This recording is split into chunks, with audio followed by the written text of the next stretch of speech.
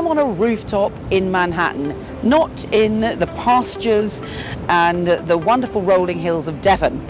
But even though I'm still here, I couldn't leave you hanging. So here is a short weekly for you, filmed in New York.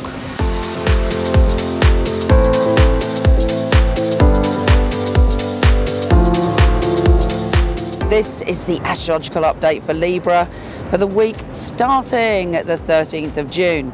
Now this week we have something very powerful occurring. We have Neptune, the Lord of Illusion, going retrograde, going backwards.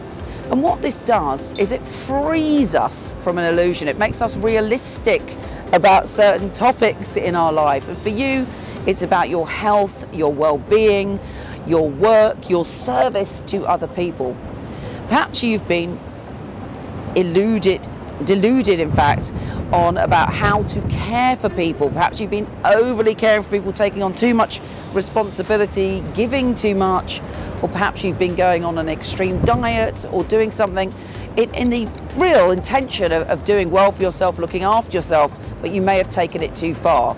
Neptune heightens our feelings and, and, makes us want to do the right thing, but sometimes we can go on a merry dance into Never Never Land. Neptune now is saying, I'm really going to help you get to the bottom of what you need to do to get fit, to get healthy, to work hard and, and to be of service, but in a way that benefits you and enhances your soul.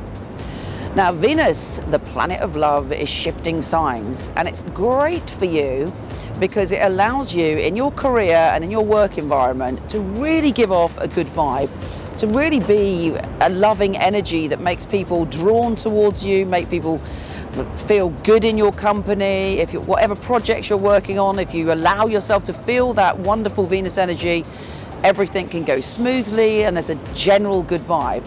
If you're single, or possibly even if you're not, it could be that there'll be an attraction and, and a real connection with somebody on a love front in a career environment. Take care and I'll speak to you soon.